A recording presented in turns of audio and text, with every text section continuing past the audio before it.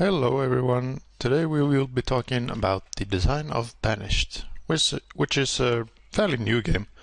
Uh, I don't often buy games sort of when they're just released, but it was 18 or 19 euros or whatever, and I felt like a sort of chilling game.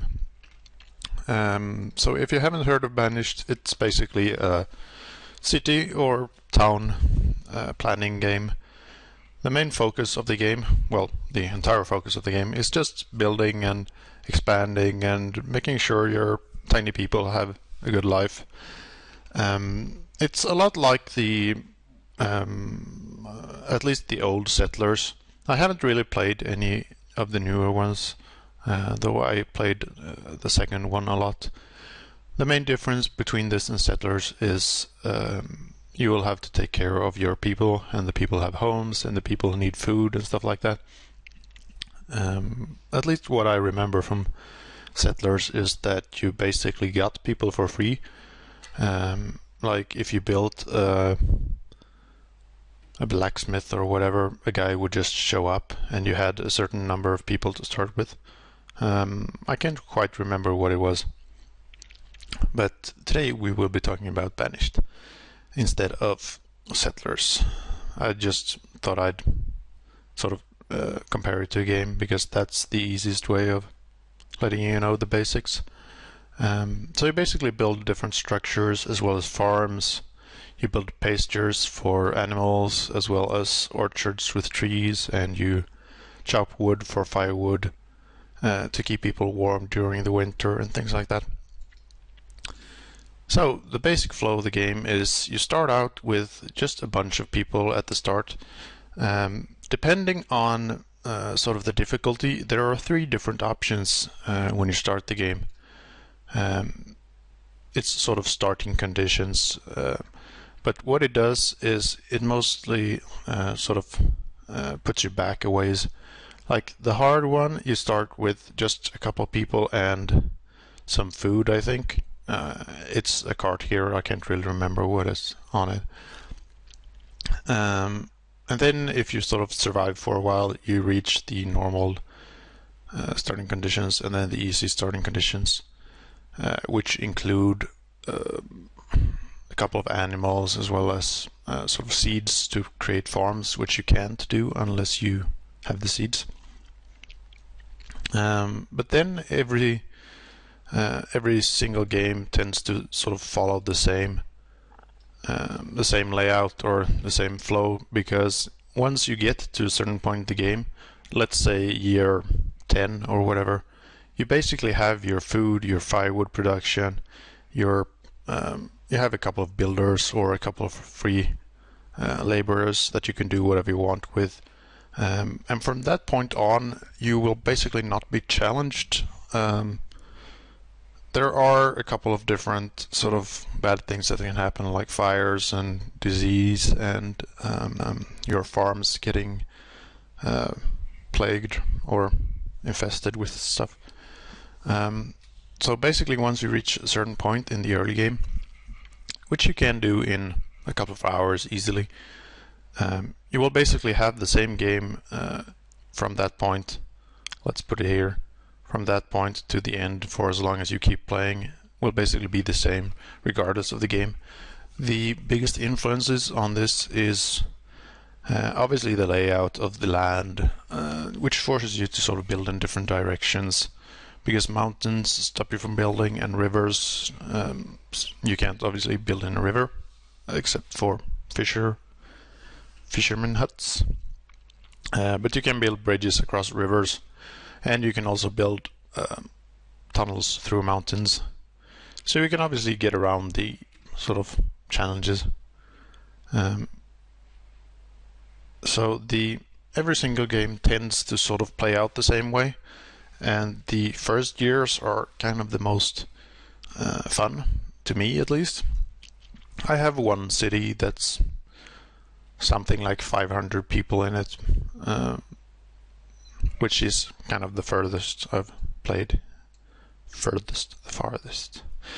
Um, so the mechanics of the game is you don't really control the people themselves.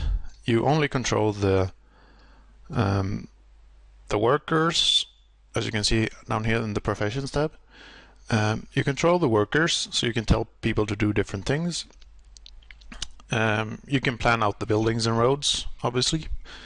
Um, as you can see here, the houses are paused, which means you can sort of uh, create a layout without having to commit the materials and the working hours, which is very useful for big buildings like the marketplace in the top right here. Uh, because this means that you can plan out for big structures uh, because the buildings aren't quite uh, aligned to a certain sized grid um, which means that you'll have to sort of puzzle to make everything fit so you start out with the big buildings and then you sort of build houses around them because houses are the smallest buildings but yeah um, you obviously have resources um, as you can see in the sort of top left here. Um, you have sort of different materials. You have uh, wood or logs, stone and iron, which is used for mainly buildings. The iron is used for tools as well. Then you have um, firewood, um, which is used to keep houses warm. Um, coal, which is mostly used for uh, making tools, as far as I know. Then you have food at the bottom here, and the game doesn't really distinguish between different sorts of foods. I think um, people get happier or healthier, uh, which you can see here at the bottom. This is health and this is happiness. Um, and I think they will be less happy or less uh, feeling less well if you have only one or a couple sorts of food, but I'm not quite aware of how it works because the game doesn't really tell you. Uh, but yeah, you also have herbs, which increases health, tools, clothing, which increase um, the tools increase people's working speed. I think uh, the clothes make them use less firewood in winter, I suppose. And then you have um, alcohol, which makes them happy. I think. So there are a bunch of different resources to keep track of. Um, and then you also have your people at the top here. So the left one is um, workers, which is basically the people you can assign to projects in the professions tab. You have uh, the second number, which is people who are being educated. And then the last one is children, which don't really do anything except eat food. Uh, but yeah, the professions is pretty much where you'll be spending the most amount of your time as well as planning. Uh, because making sure that you have sort of sufficient number of workers in the different jobs uh, is the core of the game pretty much. Um, there are a few which are um, sort of set because you need a certain amount of people to always work food as well as uh, do uh, forester, which creates logs, and woodcutters, which create firewood. Um, you sort of need a certain amount of them to always uh, keep up with the food so you don't sort of run out. And then you also have a couple of jobs like the teachers, um, the physicians and clerics at the bottom here. Oh, wrong layer. Oh, whatever. Um, which you you will tend not to sort of use them for anything else. So the people you're pretty much working with, um, at least in my opinion, tends to be the laborers, which are not assigned to anything, which means they will walk around and do uh, things like cut down trees, uh, chop up stone if you need it. They will carry things uh, like building materials. Uh, they will chop down trees uh, on building sites like this one. This is going to be a farm here, I think. Uh, so there's a guy who chops down the trees that used to be here. Um, so basically the people you have to work with are those, uh, since this is my big city, uh, I have quite a lot of them. So I have 20 people. Um, in some cases, like in smaller cities, you will also not be using um, these people here uh, maybe not even those. Um, and those, um, the miners and stonecutters, uh, miners give you iron and coal, and stonecutters give you coal, or stone, obviously. Um, so those depend pretty much on the resources you're currently needing.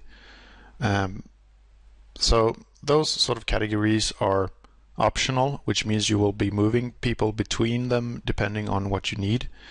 Uh, in some cases, you might not be building anything, so you move them into uh, making tools and making uh, stone and stuff like that. Um, but eventually, you will just have uh, enough workers to do uh, whatever you want to, pretty much. Um, yeah, here is uh, what I mean with the work cycle is that um, you won't be able to have workers to uh, do everything all the time. Instead, you will sort of be moving them around. Um, obviously, I took the big city, which, which is a bad example because as you play the game and you get further and further, the cycles uh, get less important because you just have more people to work with. Um, but basically, what you start with is expanding. Uh, at the start of the game, you will not be having um, sort of individual houses. Um, at least if you start on the hard setting, you will have to build uh, one of the big houses that keeps a lot of uh, families in them. Um, and when you build individual housing, one male, one female will uh, tend to move into e each house. And this means that they will be producing kids. Um, as soon as you build, let's say you build these six houses, one family will move into each of them and they will all have kids pretty much. So the next step is, yeah, the kids here.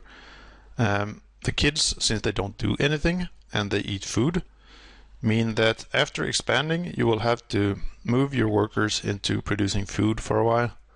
Um, which means that um, you will not be able to sort of keep expanding at the same pace all the time because you can't have people both producing food and uh, sort of doing the work.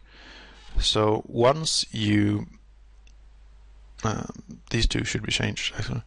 So once the kids sort of grow up, you will get extra laborers, which means they can produce extra resources, which allows you to do the next sort of cycle.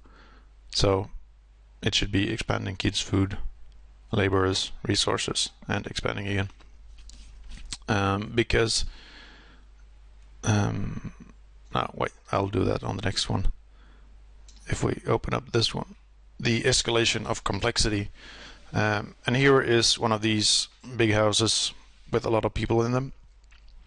So the first step when you play the game is you obviously need housing because otherwise people will be freezing to death in winter. You need food or they'll starve to death and you need firewood because otherwise they will still freeze even if they have a house. And this also means that you won't be having to sort of keep track of all the resources uh, when you play the game or when you start the game. Um, because at the start you will need wood, you will need uh, firewood, you will need food and uh, some stone to build houses as well. Even wood houses require some stone. So that is step one. And the next step is tools, clothes, and herbs. Um, the clothes are sort of less important than the other two because tools, if you don't have any tools at all, you will everyone will work slower even the guys making tools for others, which means you will sort of run into a weird situation. Um, but yeah, clothes is mostly to save on firewood. At least that's what I think it does. Maybe it allows people to be out more in the cold as well. Um, it's sort of hard to keep track of what things actually do in the game, but I will get to that later. Um, you also have herbs which increase health. Um, it's sort of a way to get rid of diseases, uh, things. Um, I actually have never played a game where I didn't get herbs, um, but it would be interesting, mostly to see what happens. Um, the next uh, step is school, church, and town hall. Um, at least this is the order in which I build stuff. So the school uh, takes kids at a certain age, and then it teaches them for a certain number of years. Um, and once they reach a certain age, they will be graduated or whatever, and they will become uh, trained workers, um, which I think just work faster doing everything. Um, but the school obviously needs someone to work in it, um, which means that if you have a really low amount of workers, you won't be able to keep up with it. The same goes for the church, which increases happiness. Uh, it also takes a guy. The town hall doesn't take any guy, but it takes a lot of materials. Um, but what the town hall does is it allows you to sort of track uh, these statistics, like how much did you produce, um, how much did you use for a year, things like that for every single resource. Um, so it's very useful to have, but it's not a requirement. Um, I'm not sure about the church either because I haven't played a game without a church. Um, so that's another thing to test out. And then you have step four, which um, is a quarry, a mine, or two mines if you want both iron and coal. Um, iron can actually be harvested because it's in rocks above ground. Um, so at first you only need one mine that mines coal. You can also switch production uh, between the two.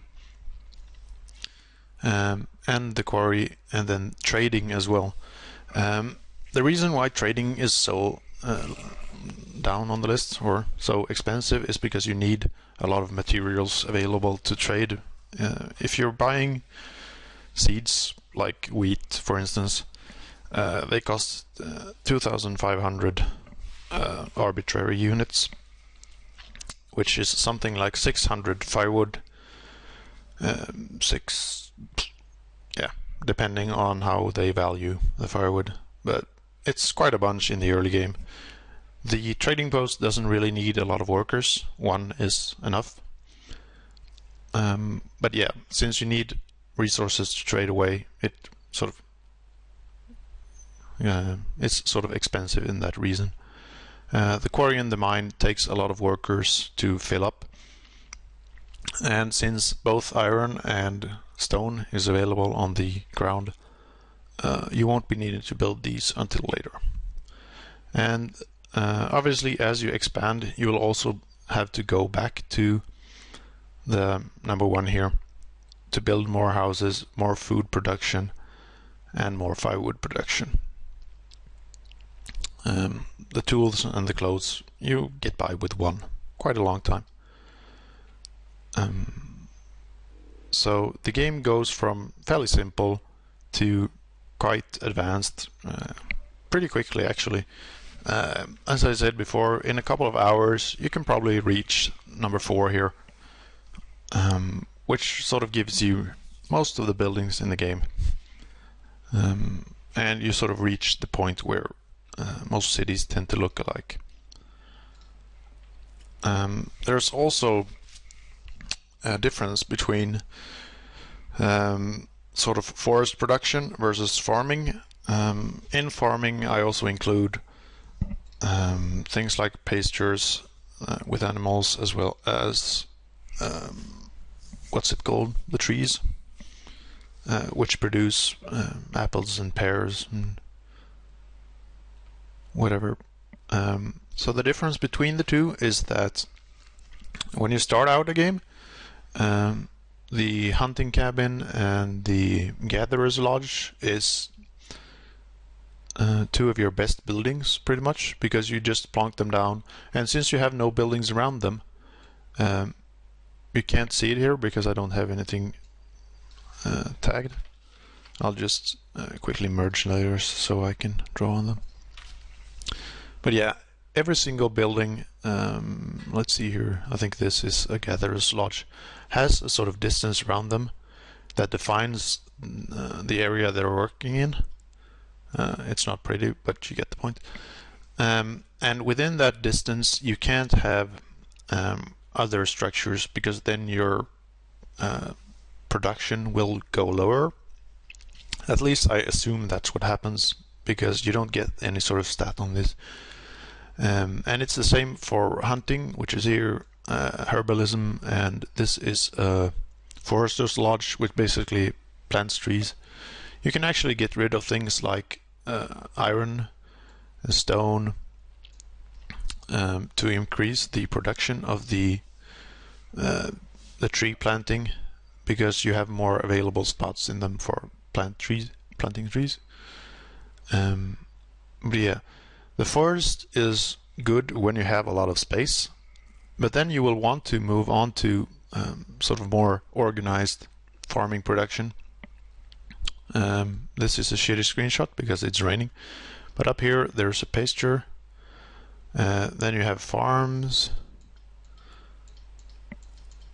Um, and then at the bottom here you sort of have housing um, because what's good about farms is that you can build housing uh, like just next to it which means that your workers will have to travel um, a shorter distance to get to work um, because since you don't want to build things near your forest structures you will have to have the houses all the way over to the left uh, to not in or to not decrease the production of your forest buildings um, you will also run into a different problem with this because once you start uh, wanting to expand, let's say your city or town with your core structures are over here to the left.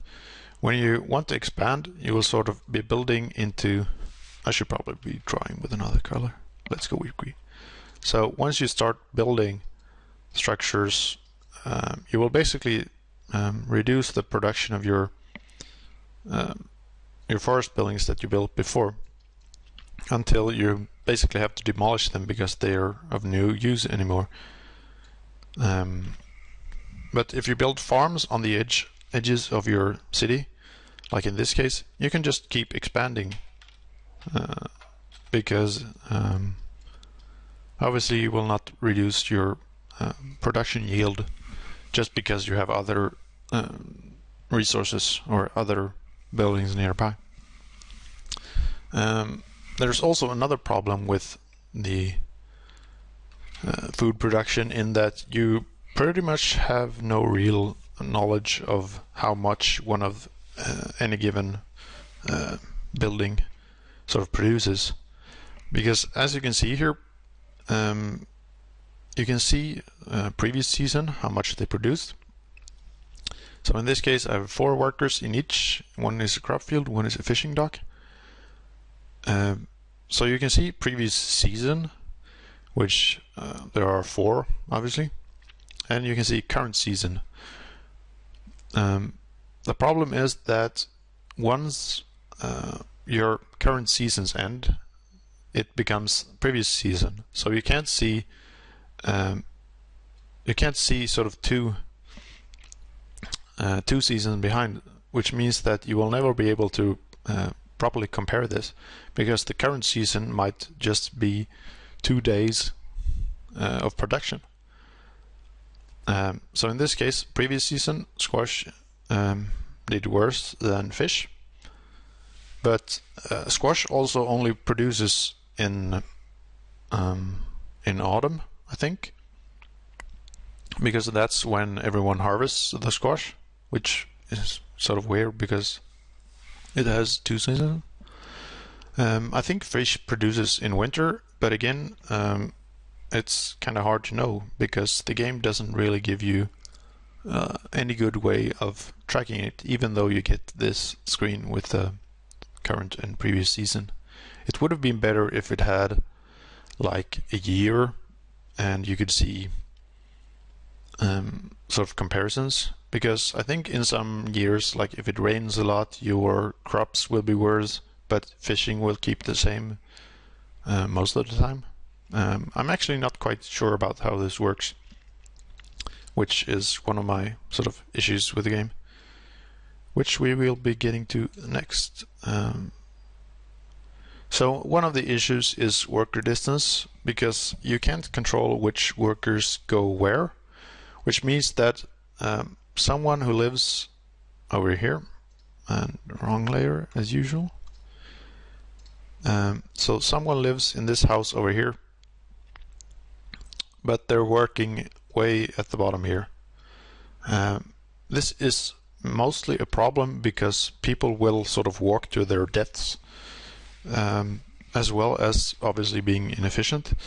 Um, because uh, people will, um, they're not clever enough in the AI system that they will be stopped from sort of walking to a distance where they will starve to death before they get back to their house.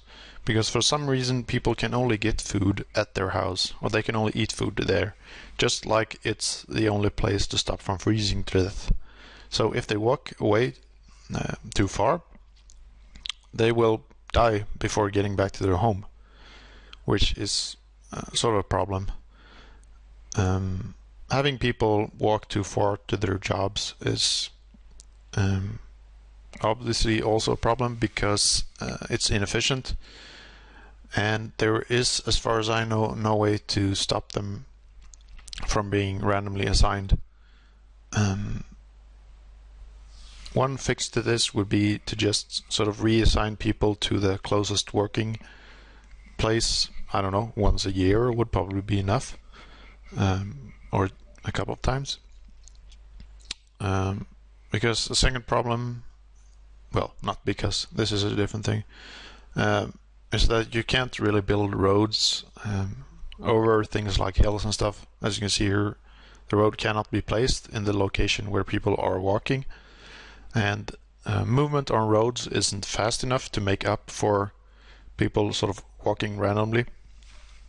Um, and this also means that if people start walking sort of across hills here, it means that there's nothing you can do about it because you can't build roads to make them walk faster. This is a stone road, which is the fastest way of traveling. Um, and this also means that if you can't improve their speed going from their house to their working place, um, the only thing you can do is sort of try to uh, build new houses at the bottom, I suppose, to make people try to work there and demolish the old ones. Yeah, this is just the walking to death problem that I said before. This guy is hungry and he's going uh, to his home to eat, which is uh, really far away, even though uh, a few of these are food production buildings. There's a picture here at the bottom. Um, and things like markets and storehouses that have thousands of units of food isn't enough to keep people from starving to death right next to them. Um, there's also teacher death, which is sort of a weird problem. Um, because as someone dies, uh, which happens pretty much randomly, they can die from old age, they can uh, die from random accidents, and things like that. Um, if you do not have a free laborer to fill up the teacher slot when they die, uh, because if you have free laborers, one of them will just take the teacher slot and everything is fine and dandy. But if you do not, um, the teacher will die and every kid who is currently being taught by that teacher will become an unskilled laborer. And there is no way to get them back into school after that happens. Um, which means that at first you had no free laborers and then suddenly you have a ton of them and those all the time they spent in school is basically wasted because um, you the teaching part is uh, binary, which means you, you're either taught for the entire period or none of it, uh, because it's just a tag um, that says this guy has been in school. Um, so, sort of um, prioritizing certain things like the teacher which means that if the teacher dies, they take first a builder, then a farmer, then a herdsman, depending on where you have your people, um, would pretty much solve this problem as well. Because building will never be as important as having someone in the teacher slot. Um, yeah, there's also uh, harvest jobs, which means that if you tell people to harvest a lot of rocks or trees or iron, um, this means that even though you've put, let's say you put all your people in the builder slot, and then you set a sort of big uh, harvest command, no one will actually be building anything because they will all be busy harvesting. Uh, which is also sort of weird to me because, um, at least as far as I understand, the laborers are supposed to take care of the harvesting and the builders take care of the building. Um, obviously, if you don't have any materials, like if you're out of stone, it's fine for builders to go get the stone, but it's kind of weird to me that they do so, even though they're uh, sort of full on stone. So the game has a couple of small issues, but it's not anything big enough to really uh, make the game worse. Um, because once you run into some things like the teacher death, you will basically never repeat that mistake again and always keep a couple of laborers. Um, uh, oh yeah. One of the improvements that I would recommend is to just have sort of uh, hover text boxes or something that says educated and if you hover over it it says yes and then it just gives you a stat like works 10% faster. Or clothing if you hover over this because there are several different levels levels of clothing there is no clothing there is uh, basic leather then there is basic wool and then there is leather plus wool. Uh, so you have four different levels and it would be great to see uh, what each of them does. And there are two uh, types of steel or two types of tools steel and iron and I also have no idea what they're doing and it would also be good to sort of be able to hover over people's health um, or happiness if they're unhappy to see what sort of would make the problems better. Because as of right now, you can click on someone and it says he has two and a half health, and you have hospitals and stuff, and no one ever goes to them. Um, so just a bit more feedback would be nice. Um, as well as as I said before, better feedback on the production of um, how sort of um, food production works. Just because, sure, previous season was great, current season will never be that great because once you reach the end of your current season, the old one goes away. And even though this gives you sort of different um, different food stuff, um, it will still just count as food. So having these different slots would uh, it makes less sense to me than showing uh, several seasons back, like the entire year or compared to last year or something like that, because um, you obviously can't compare between um, between different types of uh, food producing buildings if you don't really have any sort of good stats. And another thing I would like is seeing how much of the sort of available area that the uh, building is using. Uh, the circle is actually sort of more visible in this one. It goes something like this, and it's probably um, at the bottom here. Uh, so just showing you a stat that says it this building is 76% uh, useful because there are buildings and there are mountains and there is a river. Uh, just giving you sort of feedback and if you build a building it changes to reflect how much of the um, possible food production that you're actually living up to. So some minor improvements. Um, the game is, as I said, it costs 18 or 19 euros.